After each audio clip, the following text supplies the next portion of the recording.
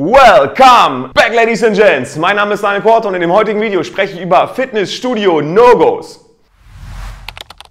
Einige von euch haben sich das Welcome Back wieder gewünscht, also Grüße gehen raus an die Community. Da baue ich das doch gerne mal hier und da wieder ein. Leute, nach Corona haben jetzt endlich die Fitnessstudios endlich wieder geöffnet und ich könnte teilweise echt im Strahl kotzen, weil ich mir denke so, hey, einige Leute beherrschen einige Regeln einfach nicht, die man einfach einhalten sollte, wenn man ins Fitnessstudio geht. Also ich bin jetzt kein Fitnessguru oder so, aber auch wenn man unregelmäßig oder regelmäßig geht, ist es völlig, vollkommen egal. Es gibt einige Regeln, die sollte man definitiv im Fitnessstudio beachten. Wenn du dein Handtuch vergessen hast zum Unterlegen unter den Geräten, dann sollst du einfach wieder nach Hause fahren und dir ein Handtuch holen.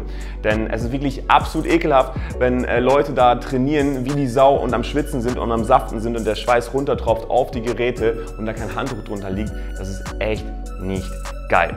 Also immer schön ein Handtuch unter die Geräte drunter legen und erst dann anfangen zu trainieren. Es ist A, wesentlich hygienischer und B, auch respektvoller gegenüber den anderen Leuten, die im Fitnessstudio trainieren.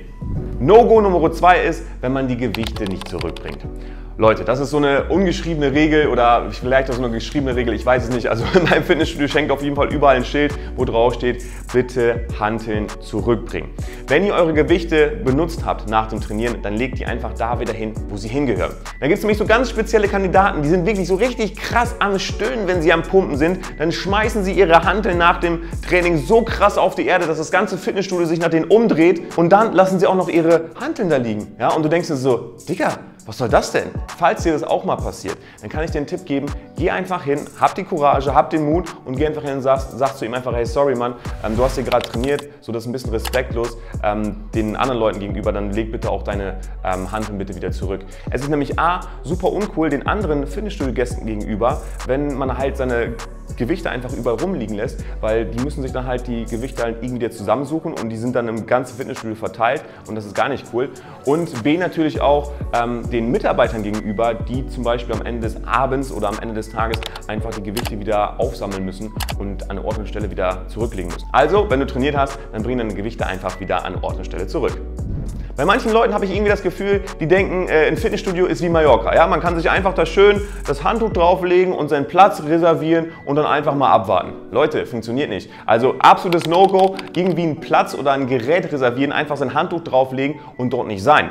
Also wenn du trainierst, legst du ein Handtuch drunter, dann trainierst du. Und wenn du nicht mehr trainierst, dann legst du ein Handtuch wieder weg und machst den Platz frei für andere Gäste. Ganz einfach. No-Go Nummer 4, am Handy rumhängen und alles andere machen, außer trainieren. Ich weiß nicht, ob ihr diese Leute kennt, aber da gibt es echt so ein paar Kandidaten im Fitnessstudio. Da habe ich das Gefühl, die gehen einfach nur Alibi-mäßig hin, um sagen zu können, hey, ich war im Fitnessstudio. Denn die hängen dann einfach auf den Geräten rum, in Anführungsstrichen, sind am Handy, am Spielen, am WhatsApp-Nachrichten schreiben oder was auch immer die da machen. Aber die machen alles andere, aber nicht trainieren. Ja? Die sind irgendwie nur mit dem Handy beschäftigt und äh, das geht wirklich absolut gar nicht. Ja? Also wenn du ins Fitnessstudio gehst, dann richtig schön pumpen, durchziehen, fokussiert dein Programm durchziehen. Ähm, klar, mach dir gerne Musik drauf, aber spiel nicht am Handy rum und beleg die Plätze, ähm, weil das ist auch echt uncool den anderen Leuten gegenüber. Leute, ich war heute Morgen im Fitnessstudio und da läuft mir ein Typ über den Weg und ich denke mir so, hm, Warum zur Hölle hat er das Trikot vom FC Bayern von Jürgen Klinsmann von 1900 Tobak an? Verstehe ich nicht. Ja? Also Leute, wenn ihr ins Fitnessstudio geht, dann würde ich euch empfehlen, auf jeden Fall Fitnesskleidung zu tragen. Mittlerweile ist Fitnesskleidung auch überhaupt nicht mehr teuer. Man, kann, ähm, man muss ja auch nicht unbedingt Markenklamotten tragen, ähm, aber es gibt wirklich relativ günstige Fitnessklamotten und das würde ich dir auch empfehlen, Fitnessklamotten zum Fitness anzuziehen und keine alten Fußballtrikots, die du irgendwo noch hinten im Schrank liegen hast. Versuch an dieser Stelle mal die Perspektive zu wechseln. Ja? Vielleicht läuft da die absolute Traumfrau gerade im Fitnessstudio dir über den Weg. Und die sieht dich dann in so einem alten Fußballtrikot von 1998 und da denkt die sich natürlich auch so, hä, eigentlich ein cooler Typ, aber warum hat der so ein Trikot an? Wenn du ins Fitnessstudio gehst, möchtest du ja auch nicht irgendwie ähm, Mädels sehen, die uralte Schlabberklamotten anhaben. Du möchtest ja auch lieber Mädels sehen, die so richtig geile, sexy, enge Leggings anhaben und die einfach auch gut aussehen in ihrer Fitnesskleidung. Ja? Und so ist es bei den Frauen natürlich auch. Also vermassel dir nicht die Chance, ja, deine Traumfrau im Fitnessstudio kennenzulernen, indem du irgendwie alte Fußballtrikots trägst. Und Leute, bitte nicht vergessen, nach Corona sind wir natürlich dafür auch ein bisschen mehr sensibilisiert.